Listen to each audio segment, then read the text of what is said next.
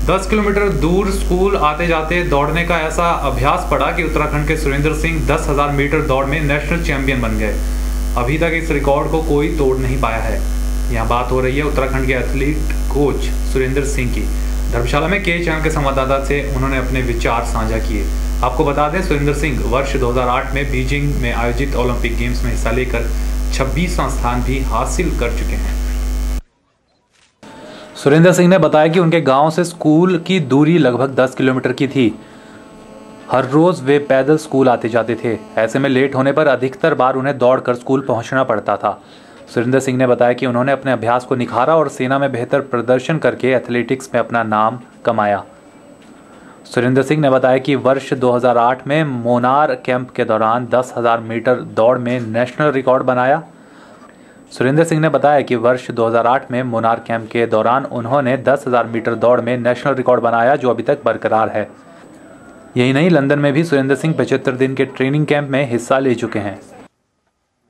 धर्मशाला अपने आप में एक टूरिस्ट प्लेस है और बहुत अच्छा यहाँ पे हम लोगों को फीलिंग मतलब अच्छा लग रहा है यहाँ पे आकर के। और इस ट्रैक का कोई जवाब नहीं है लाजवाब ट्रैक बनाया हुआ इतने हाइट पे जो है इंडिया का फ़र्स्ट सिंथेटिक ट्रैक है जहाँ पे लड़के यहाँ पे अभी हम लोग नेशनल बड़े हार्डली से लिया है।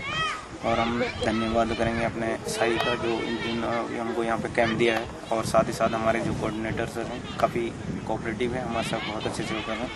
तो आने वाले भविष्य में हम उम्मीद कर रहे हैं जो भी हमारे लड़के रिज़ल्ट दे रहे हैं उससे और ज़्यादा अच्छा रिज़ल्ट देंगे। आपके नाम नेशनल रिकॉर्ड है उसके बारे में थोड़ा कुछ बताइए हाँ नेशनल रिकॉर्ड मेरे नाम पे टेन थाउज़ेंड मीटर का भी है और थ्री थाउज़ेंड मीटर का भी है। तो ये रिकॉर्ड भी हमने जो है मुनार में हाई एल्टीट्यूड ट्रेनिंग कैंप करने के बाद हम लोगों को एक्सपोजर मिला था लंदन में। तो 45 डेज़ ट्रेनिंग करने के बाद वहाँ पे मैंने तीन रिकॉर्ड ब्रेक किए थे। तो ये जो नेशनल रिकॉर्ड आपने कहाँ गेम हुई थी और वहाँ कहाँ की थी? ये एक्चुअली लंदन में हुआ था। लंदन में फ़र्स्ट नेशनल रिकॉर्ड लंदन में ब्रेक किया था। उसके बाद अगेन मैंने स्पेन में जाके अपना ही रिकॉर्ड एक बार और फिर से ब्रेक किया था। आप ओलंपिक कौन से ईयर में गए थे और आपका क्या रहा था? मैं ओलंपिक 2008 बीजिंग्स ओलंपिक्स में पार्टिसिपेट किया था भारत की तरफ़ से तो वहाँ पे मैं ट्वेंटी सिक्स प्लेस में आप युवाओं को क्या संदेश देना चाहेंगे? जैसे जो युवा हैं आजकल के जो क्रिकेट खेलते हैं वो दूसरी गेम से ऊपर ध्यान नहीं दे रहे हैं तो आप उनको क्या संदेश देना चाहेंगे? क्रिकेट के उससे नहीं क्रिकेट जो है देश को जो है काफ़ी जो हमारे स्पोर्ट्स को नीचे नीचे डाल रहा है। लोग आजकल हर कोई क्रिकेट क्रिकेट क्रिकेट की तरफ़ ध्यान दे रहे हैं। अगर इतना ध्यान अदर स्पोर्ट्स पे दें कोई भी स्पोर्ट्स है अदर स्पोर्ट्स तो निश्चित तौर पे अपने आप को एक अच्छा महसूस करेंगे, उन्हें हर जगह पे सफलता मिलेगी, हर नौकरी में उनको वरीयता मिलेगी।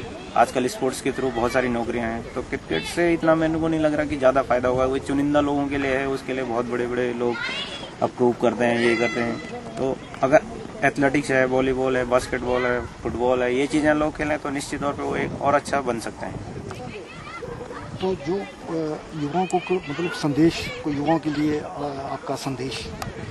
मेरा ये संदेश है, आजकल टैलेंट हर किसी के अंदर है एक एक टैलेंट है। अपने अंदर के टैलेंट को निखारो और एक डेडिकेशन होकर के, दृढ़ निश्चय करके किसी चीज़, कड़ी सफलता, मेहनत करने से जो है सफलता मिलती है और मेहनत कीजिए, सफल होगी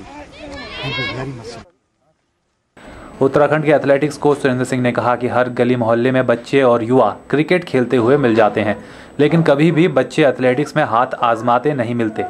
उन्होंने कहा कि एथलेटिक्स ने देश को कई नामचीन खिलाड़ी दिए हैं, बावजूद इसके। वर्तमान युवा पीढ़ी अन्य खेलों के बजाय क्रिकेट की ओर ही आकर्षित रहती है। सुरेंद्र सिंह ने कहा कि प्रदेश सरकारों को भी एथलेटिक्स सहित अन्य खेलों और खिलाड़ियों को प्रोत्साहित करने के प्रयास करने चाहिए, जिससे बाकी खेलों को भी बढ़ावा मिले और बेहतर खिलाड़ी देश का नाम चमका सकें। के चैनल के लिए धर्मशाला से निप्पी बादल की रिपोर्ट।